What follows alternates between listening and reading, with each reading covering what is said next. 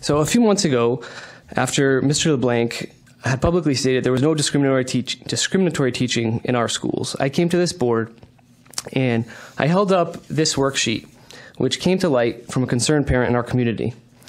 I would like to reiterate the discrimin- discriminatory definition of racism that was taught in our schools on this worksheet for the new board members and enter it into the record once again.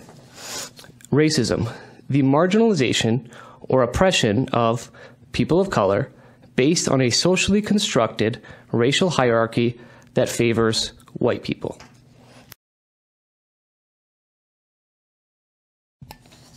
At the time, I stated this garbage violates the Equal Protection Clause of the 14th Amendment and federal and state anti discrimination laws. I advocated for the board to write a policy that reinforces the anti discrimination policy which is already in place and to prevent further discriminatory teaching. A few weeks ago, an incident report was filed with the Foundation Against Intolerance and Racism, FAIR, citing this and other teaching materials in Enfield. It is now a matter of broader public record what is happening in Enfield, and I would like to enter this into the record as well for the board and read an excerpt. Quote, a group of parents have brought to my attention the potential liability to the town of Enfield Public School District that the current professional development as well as student equity training poses. Further redefining the term equity appears to promote inequality, thus violating discrimination laws. Finally, I've uploaded the vocabulary list from the civil discourse materials and an identity worksheet that promotes race based learning provided to the Enfield Public School children. Please note the inaccurate definition that egregiously discriminates by race while defining racism.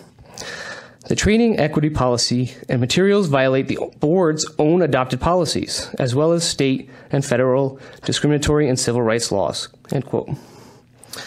The impact of teaching discrimination to our children is immeasurable. But if that is not of immediate enough concern, I urge the board to answer this question.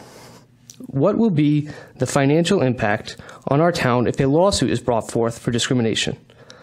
A lawsuit because of policy and legal violations causing millions of dollars would reach beyond the board and have a direct impact on the taxpayers of this community. What would that look like? Board Policy 1221 allows for the forming of a special Citizens Advisory Committee to address issues and concerns. I am requesting for this board to be transparent and form such a committee so that we may work together to find solutions and prevent further damage. Thank you.